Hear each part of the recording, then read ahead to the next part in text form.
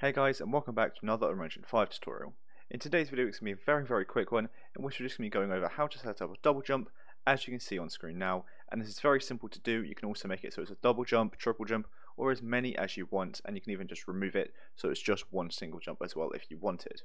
So again this is very quick and easy to do so without further ado let me get right into it. So the first thing we want to do is we want to open up our character blueprint. Now to do that we can go to control space to open up our content browser, and go to third person, blueprints, and BP third person character.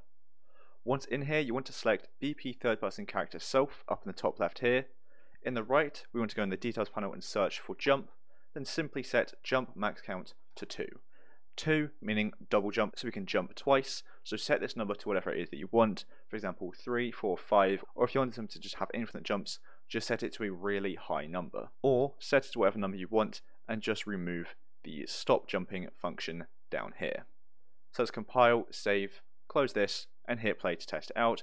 Very simply, we change one thing, and now as you can see, we can double jump. So I jump, and I can jump again by pressing space once again once I'm in the air, as you can see here.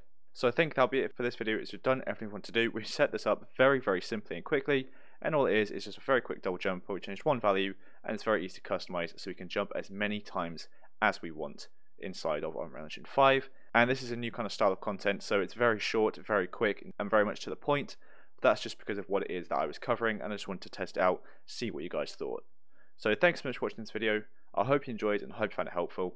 And if you did, make sure to like and subscribe down below. So thanks so much for watching, and I'll see you in the next one.